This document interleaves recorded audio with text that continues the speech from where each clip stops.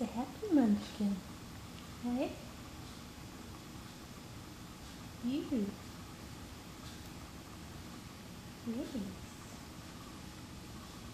Yes, you little one.